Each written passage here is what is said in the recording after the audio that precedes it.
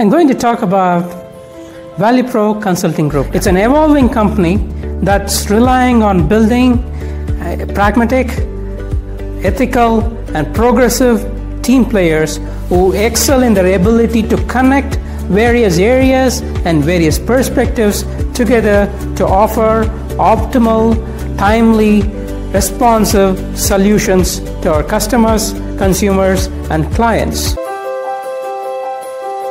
Areas of focus. We are going to focus on various areas such as risk management, finance and economics, analytics, science and technology, healthcare, energy, and more.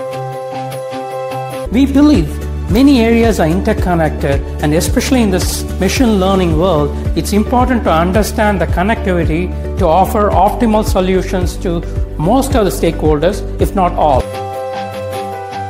Our real mission is to generate the most number of real millionaires, real meaning health and wealth in the world.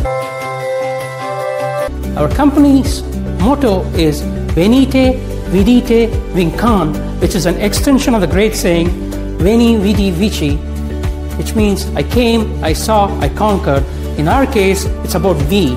We come, we see and observe your organization, and we win your odds with our solution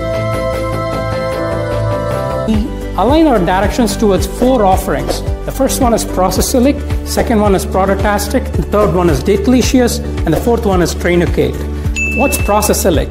It's process mapping, understanding the process, and trying to offer solutions to improve the processes. The second one is Prodatastic. Prodatastic revolves around data, knowledge, information to offer relevant products. The third one is data Datalicious, trying to get data and use that for meaningful solutions. And the fourth one is tra- Trainucate, which is training come educating the organizations to make it better. Our company's focus revolves around three U's, five G's, and 10 E's. What are these? 3U, it's all about you, our customers, consumers, clients.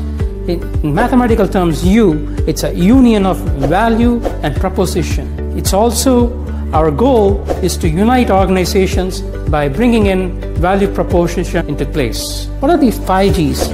We are trying to be genuine, generous, generative, genteel, and genial. And what are these 10 E's? 10 E's forms the core of everything in this organization. What are these 10 E's? 10 E's, the first section of the 5 E's, it's on the management side. The next 5 E's corresponds to the organization side. Does it mean that, see, many of these things uh, have come up in the past in various forms, in different forms. Does it mean that we are lacking originality? No, that's in a way, it's important for us to accept what has been done before, give due respect for what has been achieved in the past.